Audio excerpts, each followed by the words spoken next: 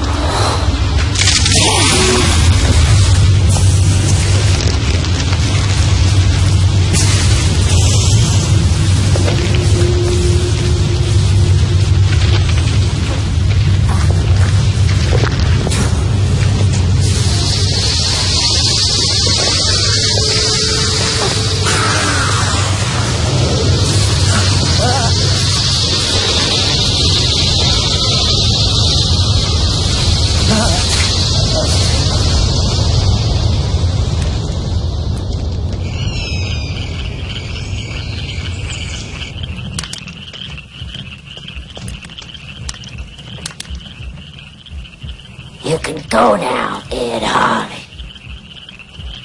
Now it begins.